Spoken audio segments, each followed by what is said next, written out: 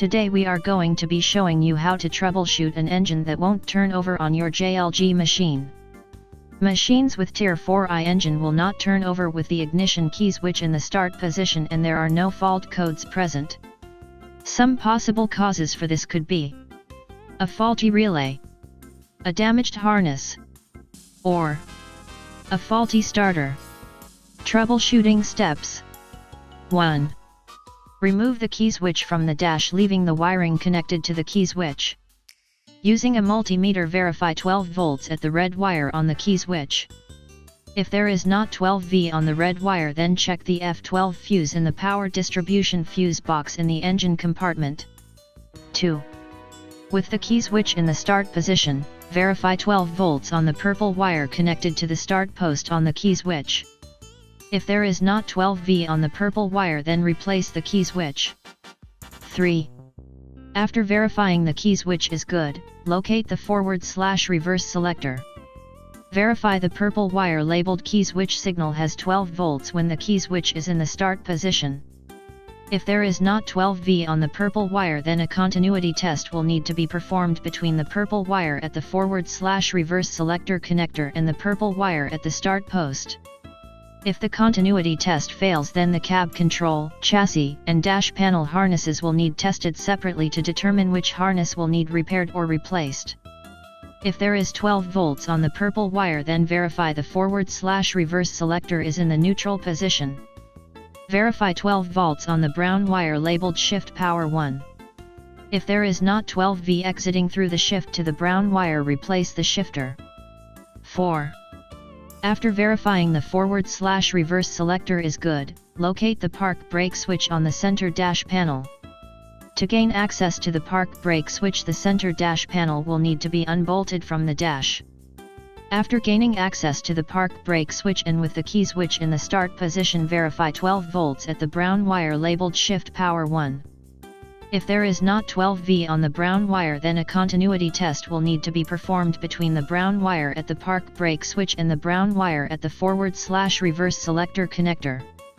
If the continuity test fails then the cab control, chassis, and dash panel harnesses will need to be tested separately to determine which harness will need to be repaired or replaced. If there is 12 volts then verify the park brake switch is in the on position and the key switch in the start position. Next, verify 12 volts on the orange wire labeled start relay. If there is not 12 volts exiting through the park brake to the orange wire replace the park brake switch. 5. After verifying the park switch is good. Locate the starter lockout relay located under the radiator. To gain access to the starter lockout relay the angle bracket cover will need to be removed from the outside bottom edge of the engine pod. The starter lockout relay is a Bosch-style relay bolted to the side of the box under the radiator closest to the frame of the machine.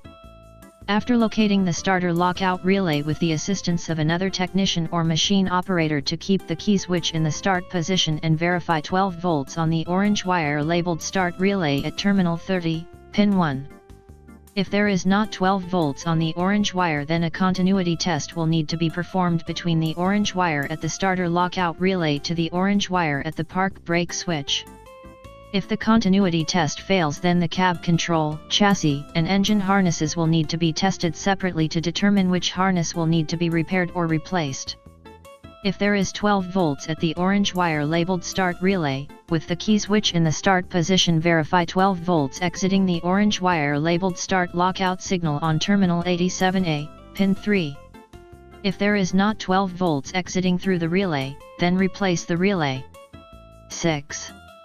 After verifying the starter lockout relay is good. Locate the start relay mounted under the radiator. The start relay is bolted to a bracket under the radiator closest to the outside of the machine and has a 2-pin wire connector plug in it. After locating the start relay with the key switch in the start position, verify 12 volts on the orange wire at the connector using the black wire as ground. Also make sure the black wire has a good ground. If there is not 12 volts then a continuity test will need to be performed between the orange wire at the starter lockout relay to the orange wire at the start relay. If the continuity test fails then repair or replace the engine harness. If there is 12 volts, then test the 20 amp fuse located under the cap on the start relay. If there is 12 volts and the fuse is good verify the heavy gauge wire exiting off the terminal post on the start relay has 12 volts. If there is not 12 volts replace the start relay. If the start relay test is good, locate the orange wire entering the starter solenoid on the starter. With the key switch in the start position verify 12 volts to the orange wire at the starter solenoid. If there is not 12 volts then a continuity test will need to be performed between the orange wire at the start relay and the orange wire at the starter solenoid. If the continuity test fails then repair or replace the engine harness. 7. If all troubleshooting test procedures have tested good, then replace the starter. Note, make sure not to over-tighten the nut fastened to the orange wire on the starter solenoid. Thanks for watching. You can find a link to the detailed troubleshooting steps down below in the description, and you can find all the parts and equipment used in this video over on our website gciron.com.